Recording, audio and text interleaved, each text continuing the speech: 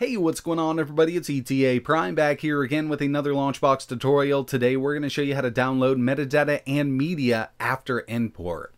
So if you've already imported your games and let's say you didn't have an internet connection at the time of downloading your games or maybe it just missed a couple of your games, we can actually go back and download all of that media, be it videos, box art, whatever you're looking for to download for your games. Now I'm in my Sega Genesis section and I haven't had an issue with this. This is working really well. I was able to import everything, it downloaded everything, and as we know, Launchbox will automatically do it for us. And we can also set up an EMU Movies account if you'd like. But if I head over here to my GameCube section, as you can see, I've got a couple missing. Just two out of the games that I have imported right now. And uh, we can definitely see the names of these. So Alien Hominid and Mario Kart Double Dash. Now I've actually manually removed this box art here just to give you an idea of how to do it for single games, but we can also do a bulk download for something like my Sega Dreamcast section. So when I imported these, I actually didn't have an internet connection, and as you can see, I've got the games imported, but I don't have any box art. So we're going to start off with single games. We're going to go back over to our Nintendo GameCube section, and in order to do this, it's actually pretty easy. Per game, we're just going to right click, we're going to go to Edit, edit metadata and media. From here, we're going to find images, and at the very bottom, download media. So this is actually really easy to do. We're going to use the Launchbox Games database, and I'm just going to leave everything checked here because I want as much information and artwork. So we'll choose download, and we can actually see exactly what we've just downloaded. It went through 18 different images, so we've got our 3D boxes, we've got our 2D boxes, we've got banners, everything we need for this game. If I choose OK, we've got artwork. And that's basically it when using the built-in downloader. Now I've got another game here and I'm going to go about this a little differently. So I'm not going to use the built-in downloader. We're manually going to add artwork for this game here, which is Mario Kart Double Dash. So we're going to right click, we're going to go to edit, edit metadata in media. And from here, as you can see, we've got the correct name because I've already downloaded the metadata for this game on import. I just didn't get any of the artwork. Now when we work with the bulk import, I'll show you that we don't have any metadata at all for those games.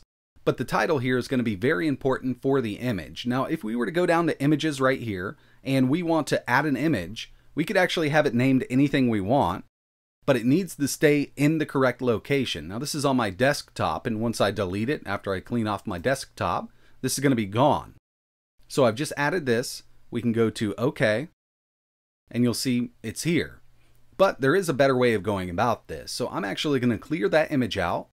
So we've got the image cleared, and in order to correctly add that image to our Launchbox folder, it needs to be named accordingly. Now there's two ways to go about this. We can go by the Launchbox standards, and if we go to Edit, Edit Metadata in Media, you can see that this is going to be the proper name. Now you can always rename that image the same as your ROM, but my ROM is already named correctly. So what I'm going to do here is just copy this.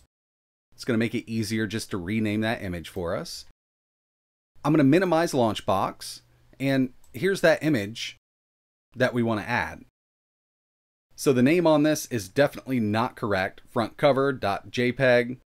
We'll go ahead and rename it we're going to give it that Launchbox standard name. Quick side note here, if the name of the game has symbols in it, you will have to replace them with underscores, so just keep that in mind.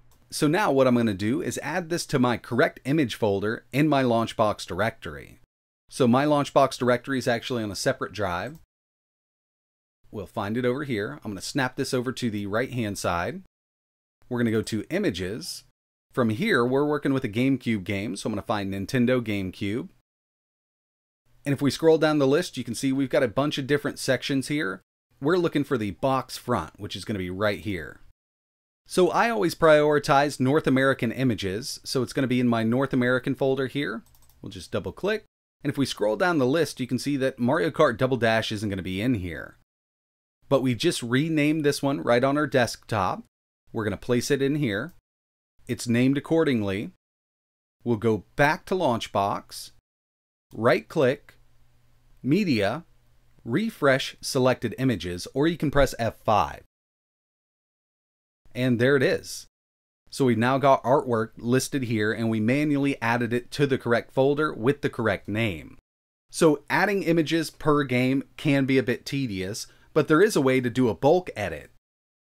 Like we saw, my Sega Dreamcast section doesn't have any images installed. And another thing you might notice is I don't have any metadata downloaded for these games. The only thing Launchbox knows right now is these are Sega Dreamcast games and the ROM name. I don't have any other information downloaded for each of these games, but we can do a bulk edit. And to do this, we're going to select all of our Dreamcast games. So we'll select the first game.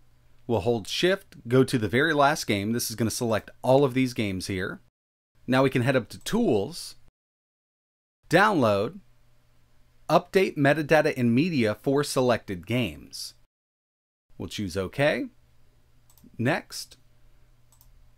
We want to search for the game information from a local metadata database. We also want to make sure we have some images selected here. And when updating the metadata and media for already imported games, you're going to get a section that looks a bit different. We recommend choosing the second one here, yes, but do not replace any existing fields or media. So we'll choose this one. Wizard is ready. It's going to download the metadata, and now it's going to download all of the artwork for us so we can bulk edit and download all of that metadata and media after we've already imported the games. And there it is.